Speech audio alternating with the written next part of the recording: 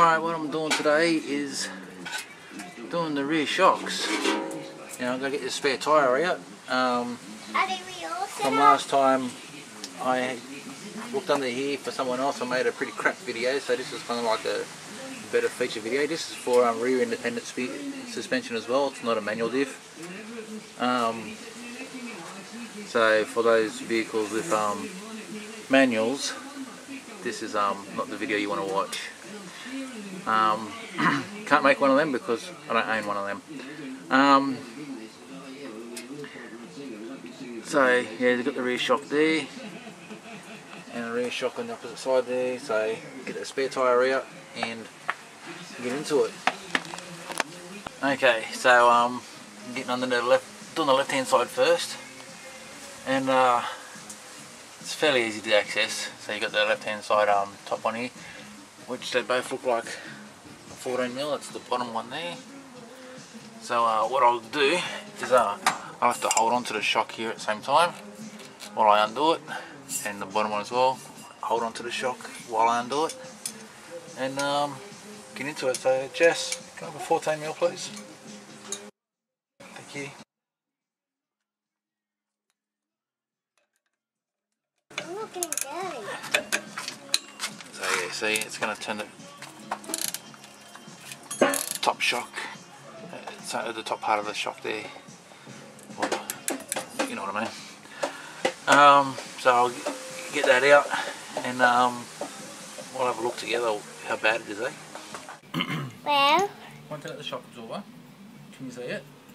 Yeah. Okay. So what you've got here is the old shock and if I push it down, pretty much effortlessly.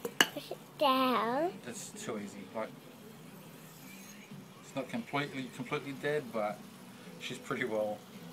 Daddy. It's not going to happen any further. This is Monroe shock. There you can see the. You see that there, Jessica? Yeah. That's a Monroe shock, and just.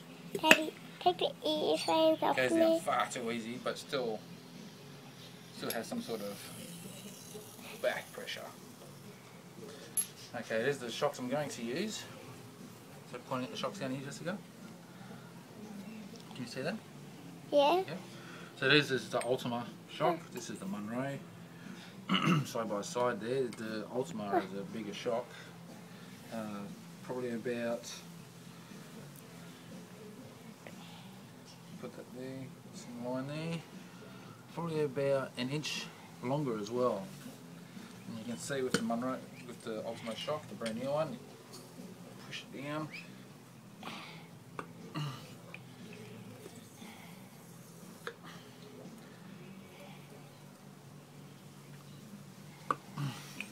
Daddy. So that's how it should work anyway. So, I'll get in. This Put this in, put this in. Daddy. Okay, so this is the uh, right hand side shock. And um, you can see we've got the spanner up there.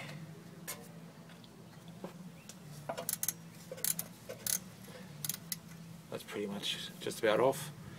Um, it's a that's the shock absorber there. Sorry, I'll have to finish the video off with the mobile phone. My camera ran flat on me.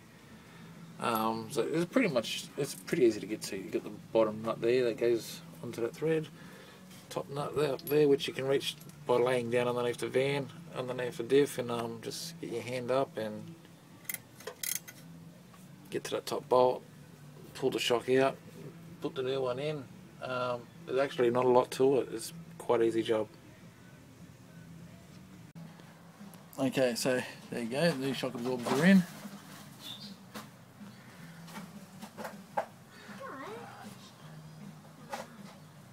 A bit harder to hold the camera straight when you're using a mobile phone. But as they're in, so uh, should be a much better ride now, not so bouncy in the back end. So again, thanks for watching guys. This is your host Jessica and me. Wave.